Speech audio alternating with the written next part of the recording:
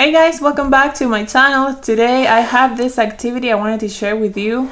It's something that I put together for my daughter to play with her 100 uh, with 100 chart. I made this grid using a computer software. I think I used Word for this.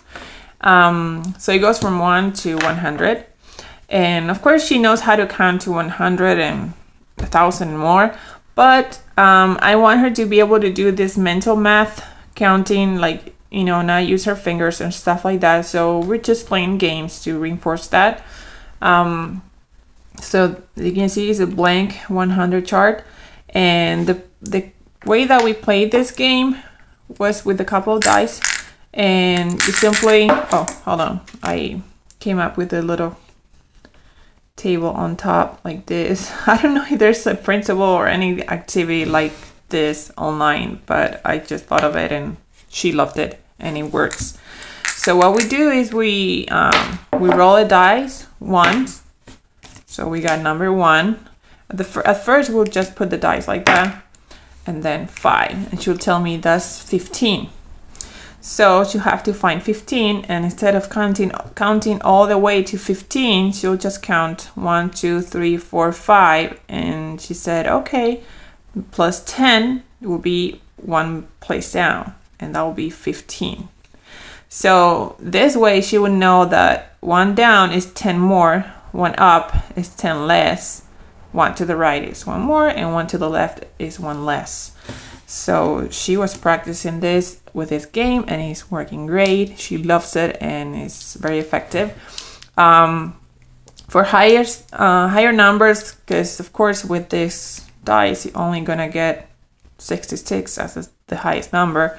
Um, so what we came up with was rolling two dice for one number. So you have a nine, and then you roll again, and you have eight right? So now you have to find 98.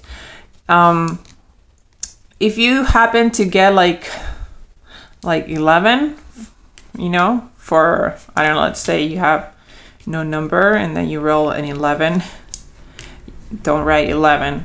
In this case, you just go, okay, let's do, let's find 11 instead. So we have 15, 14, 13, 12, 11. That's it um, it's your game you make the rules so no problem. And it's fun because my daughter came up with a couple of solutions for this issues you know because we don't have dies that go you know only to 10 so uh, what you can do also is you can uh, cover up the six or the five or something. I don't know. If you come up with something let me know. But uh, we played like this and she really enjoyed it.